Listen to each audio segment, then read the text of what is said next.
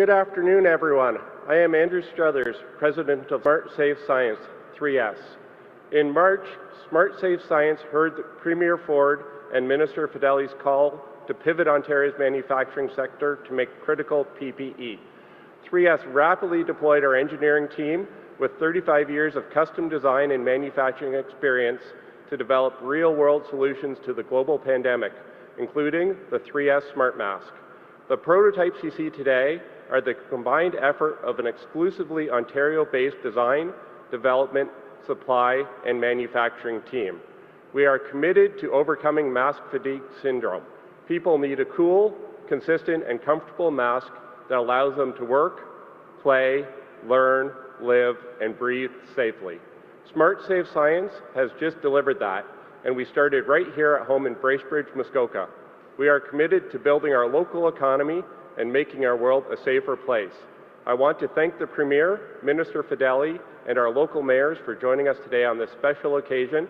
To tell us more on why we're here, it's my honor and pleasure to introduce the Premier of Ontario, the Honourable Doug Ford. Thank you. Oh, thank you. And, and Andrew, thank, thank you so much for that warm welcome and the, the great team you have from 3S right here in Bracebridge. Well, good afternoon, everyone. Before I begin, I have to say, every time I come to Bracebridge and Gravenhurst, you roll out the red carpet, and I'm so grateful for that. The people are friendly, and the communities are just absolutely beautiful, as many of you know when you come up here. If you do get a chance, please come up here and visit and support your local businesses right here in Muskoka. I'm excited to be here with Minister Fedeli, our All-Star Economic Development Minister, and it's great to see my friend, the Mayor of Bracebridge, Graydon Smith, who's the incoming president of AMO. Muskoka District Chair, John Klinck, great to see you as well, uh, John, and, and as well as the Gravenhurst Mayor, Paul Kelly. Our mayors are absolute champions up here. They work so well together, and I'm just so proud of each and every one of you for the job you've done. And I also want to recognize my parliamentary assistant and local champion for Parry Sound Muskoka, MPP Norm Miller.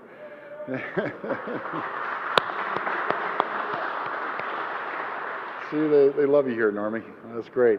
Norm has been a, a strong voice for the region, advocating for your priorities. Priorities like a brand new Muskoka and Area Ontario Health Team to provide better, connected care to patients, and expanding the Gravenhurst Dental Clinic so low-income seniors can receive free routine dental care. But it's also a community where we need more jobs, where we need more growth and opportunity as we gradually and safely reopen the province. Today's job numbers are good news for Ontario. We're in the third straight month of employment growth. 142,000 more jobs have been added. That's 142,000 more people are back to work in supporting themselves and their families, including over 12,000 jobs in our manufacturing sector. That's over 670,000 jobs in total over the last three months that we've been added back to our economy. But my friends, we still have a long ways to go. And we have to keep that recovery going. We have a plan, a Made in Ontario plan for growth, renewal, and long-term economic recovery. And it starts with helping Ontario businesses seize the opportunities that exist in this new environment, to find better ways to do things, to make sure we are never caught in a situation again where we don't have the critical supplies we need to keep our frontline workers safe and make sure that we always, always uh, have an abundance of supply. And I can tell you, I always said, folks, I'll never rely on a foreign leader, a foreign country to dictate to the people of Ontario or Canada about PPE. And that's exactly. Thank you. And that's exactly what Smart Safe Science and True North Plastics are working on. Many of us may know a family member, a friend, or a neighbor who works on the front lines. Wearing a mask is part of the job, but for many, they're wearing that mask day in and day out, 12 hours a day, sometimes more. It can be really, really uncomfortable, but they wear it to save lives. They wear it to keep others safe and stop the spread of this deadly virus. For those frontline workers, I'm proud to say help is here, thanks to the hard work of the team at Smart Safe Science. They have developed an Ontario made solution to this problem. They created a lighter, breathable, medical grade face mask.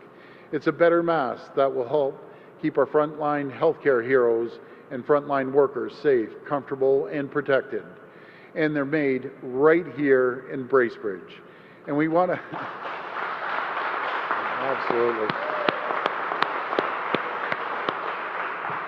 See, folks, I love these people up here. And, and we want to help uh, this company make as many of them as possible because our frontline heroes deserve the very best. So today, I'm proud to announce our government is investing $2 million through the Ontario Together Fund to help Smart Safe Science mass produce these masks.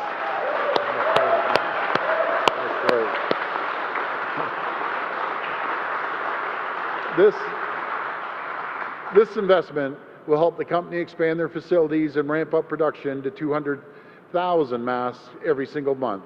This will help secure a domestic supply chain of vital PPE so that we will always be prepared and protected, no matter what the pandemic may throw at us.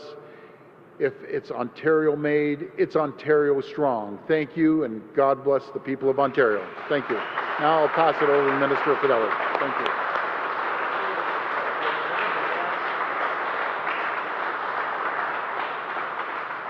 Thank you, uh, everyone, for being here. Thank you, Premier, for your ongoing leadership throughout this pandemic. And thank you to Smart Safe Science for hosting us in your uh, new facility here today.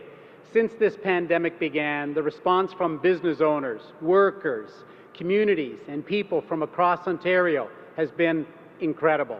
We have seen firsthand ingenuity and perseverance on display in every corner of Ontario. Our business community has continued to step up and demonstrate the best of Ontario's spirit by providing innovative solutions and helping to ensure our frontline workers and people across Ontario are equipped with the critical supplies they need.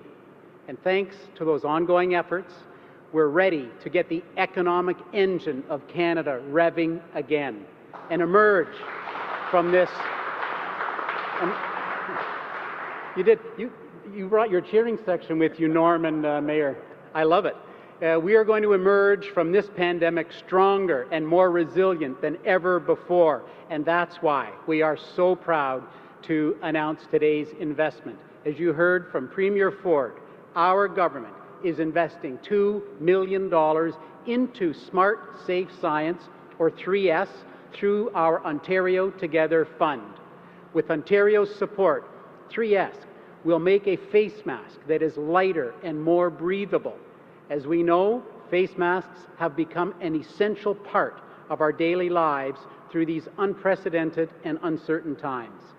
But for our healthcare professionals and frontline workers who are battling COVID 19, prolonged use of face masks brings fatigue. And this technology, right here from 3S, will help address common mask fatigue syndrome experienced among heavy use mask wearers. The mask comes with attachments for a smart stick that will monitor body temperature and transmit critical real time data about the user's health status. And the mask will also conform to the user's facial structure, providing greater comfort and protection. To reach targeted and production capacity, 3S will invest in expanding this facility and purchase new equipment. This Made in Ontario solution will help ensure the health and safety for Ontarians and Canadians and a strengthened domestic supply chain for vital PPE as Ontario continues on our economic path to recovery. Through the Ontario Together portal and the Ontario Together Fund, we have mobilized our province's manufacturing and innovation might. We will continue to work with the very best innovators and manufacturers and prioritize made in Ontario solutions to ensure a safe reopening and recovery and to maintain our place as the Workshop of Canada. Thank you to everyone, and now it is a great pleasure for me to welcome to the podium the Mayor of Bracebridge, the Honourable Graydon Smith.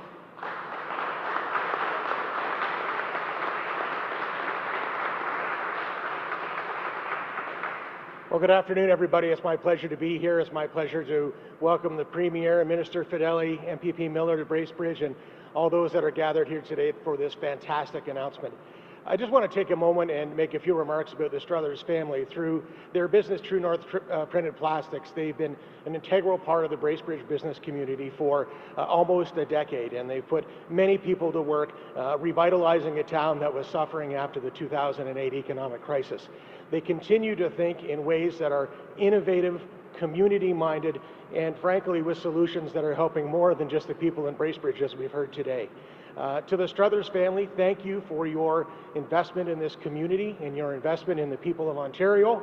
And to the Government of Ontario, thank you for the investment in 3S, which is going to create many jobs here in Bracebridge and uh, be a solution for many people, including our frontline workers in Ontario. So thank you very much, and it's wonderful to have you here today.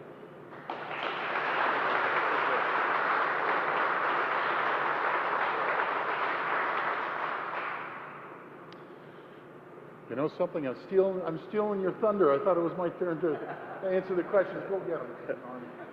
Thanks, thanks, Premier. I want to thank our distinguished guests, the Premier, Minister Fidelity, and the good folks at True North Printed Plastics and Smart Safe Science for coming together today on this exciting occasion. I'd also like to thank the mayors for their unwavering support of this project. As the parliamentary assistant for the Premier and MPP for Parry Sound Muskoka, I know the Premier has been a stalwart champion for Ontario made solutions and Ontario made products. More than that, we have an opportunity to lead the world in producing high quality medical equipment and supplies, and there's no reason why it can't happen right here in Muskoka.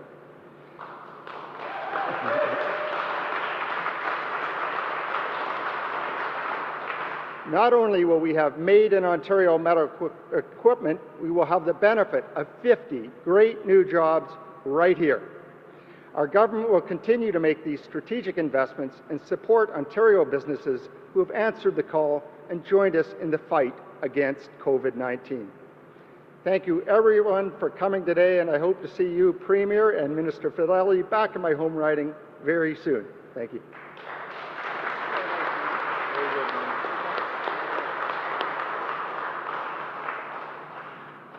Well, before, before I start, I have to thank uh, John Botello uh, from Fly, Flying Colors International, who made the Ontario-made flags there. They look absolutely great. Thank you so much, John. And uh, anyone who wants one of those, just uh, give John a call. So we're ready for the questions. We'll go to the phone line for questions. Just a reminder that it's one question and one follow-up, please. Thank you. First question is from Pamela Steele at Bracebridge Examiner. Please go ahead. Hi, Pamela. Sorry, one second, Pamela. Kind of like the music. You can keep going. It's all good. Okay, go ahead. We will move to the next question, which is from Laura Stone at the Globe and Mail. Hi, Laura. Hi, Premier. Sorry, no music from me. That's all right. I have a question about education. Yes, Can you hear me, Premier? I can hear you. I can hear you, Laura. Um, my first question is about education. Uh, sick kids, and even you, the government, have said that being in school is good for the mental and social well-being of kids, especially those from low-income neighborhoods. Yet the TDSB has released data this morning that shows those families are keeping their kids home at a higher rate, some at more than 50%. So why hasn't your government done enough to make these families feel safe about a return to the classroom? Wow, I, I, I totally disagree with that, that last uh, comment there, Laura. Uh, why haven't we? We've spent $1.6 billion. We've thrown everything in the kitchen sink uh, at, the, at opening these schools. We have Dr.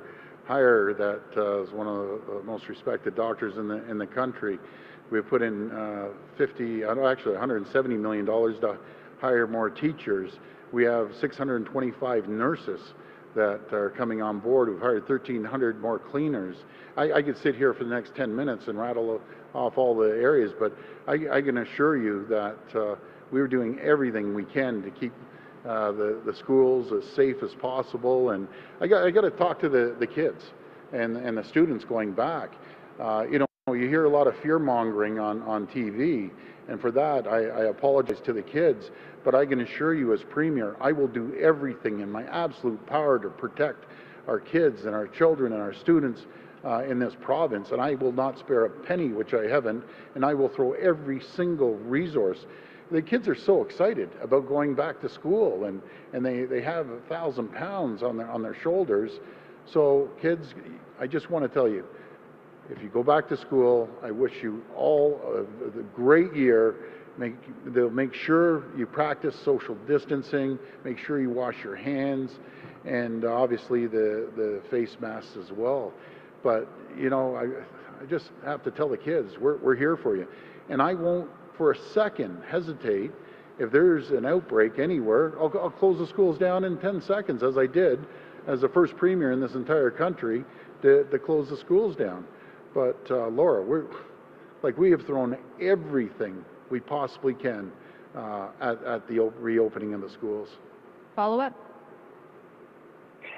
Premier, some in the health community, such as Doris Grinspun of the Registered Nurses Association, have been calling for Dr. Williams to resign, and they've criticized how he's handled the pandemic.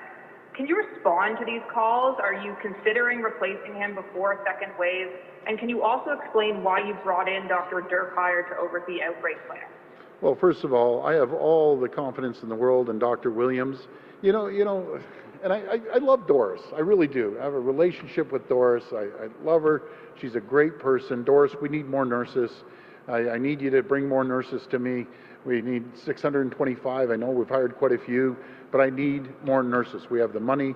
I want to hire. But, you know, they've been calling for Dr. Williams' uh, head since the beginning, and I take personal offense uh, for that. Dr. Williams has worked around the clock. This man doesn't sleep. He's out there protecting the people, and the numbers speak for themselves because of the leadership of Dr. Williams and his entire team and all 34 chief medical officers around the province. We have the lowest cases per 100,000 in, in North America. Like, I, I don't, I, I, I, take real offense. What, what more do you want from this man? The guy is working his back off, giving his best judgment. And by the way, I say it over and over again uh, Dr. Williams, in my opinion, is an absolute champion. He works collaboratively, and it's not, uh, Dr. Williams isn't the type of person to say, this is what we're deciding, it's my way or the highway. I've never, ever seen that. Matter of fact, to the contrary. He talks to all the health experts uh, around the country, around the province, communicates with all the uh, public health officials, which are, all of them are doctors as well. So I, I just wish him all the best. And uh, I'll stand beside uh, Dr. Williams any day, any pandemic. He's given us great uh, guidance and protocols to follow along with his team. So I uh, wish him all the be best. And, and that's a, he's a great guy. Next question. Thank you. Next question will be from Pamela Steele at the Bracebridge Examiner. Please go ahead. Hi, Pamela. Oh, we're rocking and rolling again. We'll go to the next question. Anyways, even going back before that, to, to the media and to everyone, it's so easy to play armchair quarterback and criticize people that are going around the clock. You know, contribute. I always say there's complainers, complainers, complainers, then there's people that make things happen and say, we have this, we're going to do everything we can. And uh, that's what the principals and the teachers are doing right now. They're, they're going to uh, have a, a good school year. Next question will be from Farrah Merali at CBC News.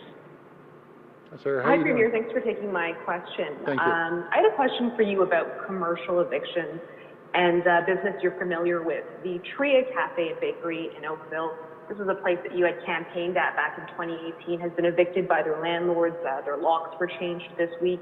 Uh, their landlord chose not to participate in uh, CECRA, the Canada Emergency commercial rent assistance program, and because of how long they were closed, the owners uh, could make their rent payments in full, which led to their eviction. Um, given that commercial evictions fall under provincial jurisdictions, what could your government have done better to protect small businesses like TRIA, whose landlords chose not to participate in CECRA, and will your government consider extending the moratorium on commercial evictions? Well, we're extending it as of today. It's going to go for another month to the end of September. Uh, our priority is to always make sure we protect uh, businesses out there. And uh, I, I want to look into this and maybe if we can give me that contact uh, name again, or we'll, we'll look it up and find out, because they can't uh, just evict someone. We, we have a, a program in place that as long as uh, the, the landlord pitches in 25%, the tenant pitches in 25%, the federal government will put in 25 and we'll put in uh, 25%. So it's unfortunate they didn't take him up, but he, uh, he can't evict them. It's as simple as that. So we'll be addressing the landlord uh, as soon as we get off today. We'll find out who the landlord is. Follow up? Just pivoting now to something a little bit different, a question from a colleague of mine about the COVID alert app. Uh, Ontario, as you know, is or was the first province to adopt this act, and that was more than a month ago. Yep. Uh, since then, the only province to join on is uh, Newfoundland and Labrador. So, what's your message to other provinces and territories? Why do you think it's taking them so long to join on? Well, I, I believed in the conversation at uh, our, our COF meetings and and over uh, when we get together, we got together just uh, a couple days ago. Uh, I believed everyone was on board. I encourage all the premiers uh, get on board with it. It protects our provinces, protects the country, and uh, there's over, I believe, over two million. It's probably higher by now, but over two million people with the apps. It just makes us a lot safer. So I'll, I'll have to talk to the other premiers again and find out what the, the issue is. Next question? Will be from Lucas Meyer at Newstalk 1010. Please go ahead. Hi, Lucas. Thank you very much. Uh, hi, Premier. Um, in terms of, I know you spoke earlier this morning with Bill Carroll um, about the situation going on in Peel. Um, and I'm just wondering, since then, if you've had a chance to speak even more with the health table, uh, and you've often said, you know, everything is on the table, but in terms of the possibility of lifting restrictions, is it more than just off the table, or is this something that you are, you know, seriously discussing about Peel specifically? Well, I'm really concerned about what is happening in, in Brampton. I, I gave the mayor three calls this morning. I haven't, uh, and then by, by the way, it's no offense, Patrick's doing a great job, but I couldn't leave a voicemail. But Patrick, you're listening. I need to talk to you, find out what's happening out there. We can send in mobile units because I'm, I'm really concerned when Brampton makes up 3% of the population and represents 40% of the cases yesterday. That's concerning. And I keep seeing escalating. But then the, the great chief medical officer of health, they're going around uh, Brampton, and this is a small percentage because I, I lived in Brampton. I love the people of Brampton. They're great folks. But we can't have these backyard parties, not wearing face masks. And anyone who's thinking they're having a big shindig this, this weekend, forget about it. Cancel it.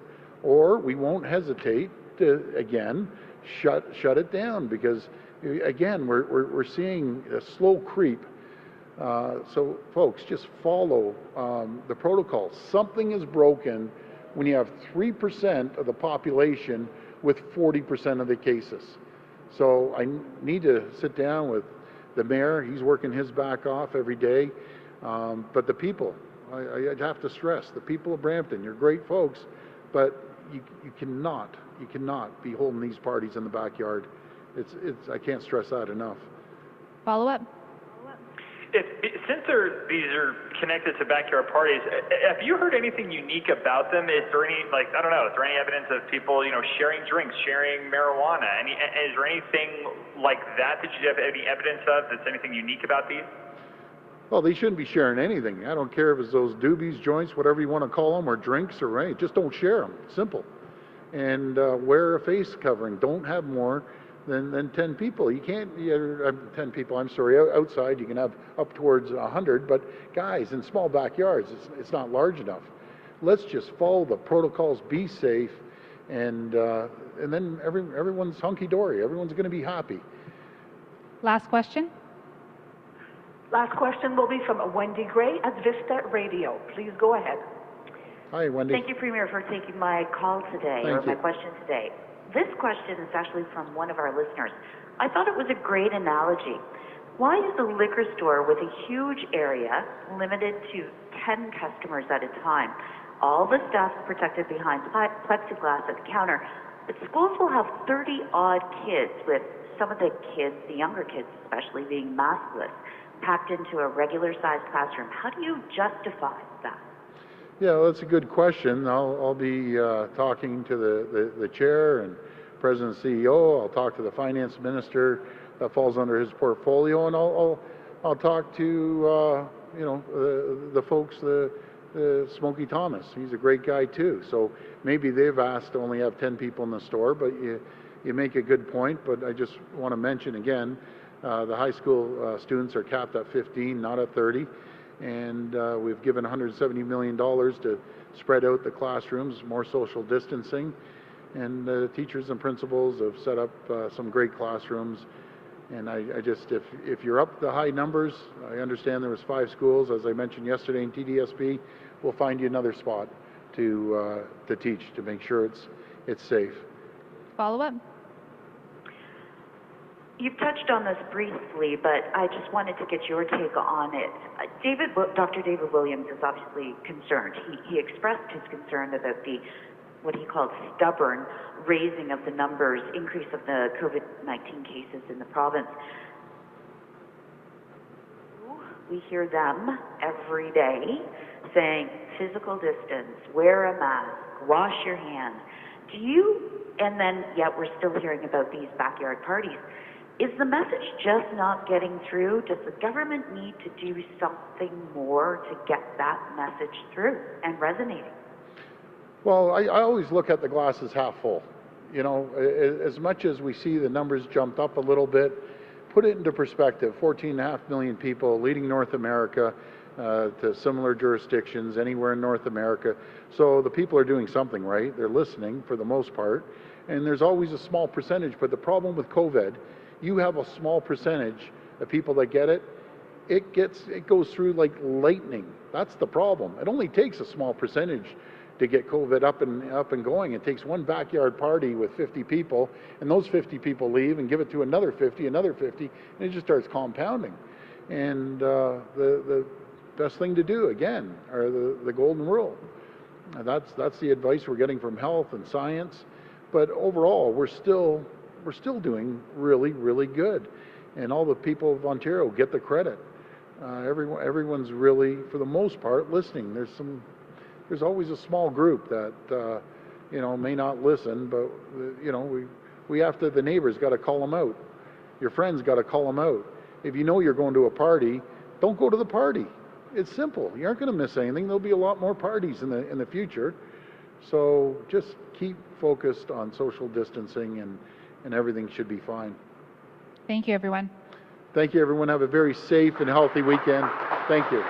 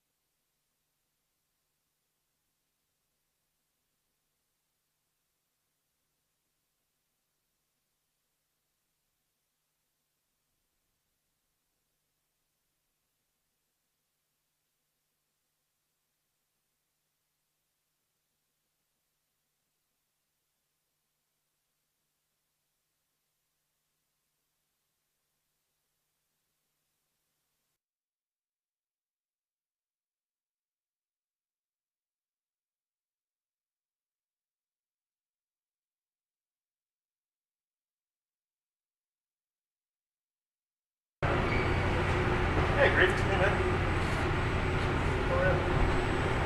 We may take these out until they start the machine. Yeah, I get the idea.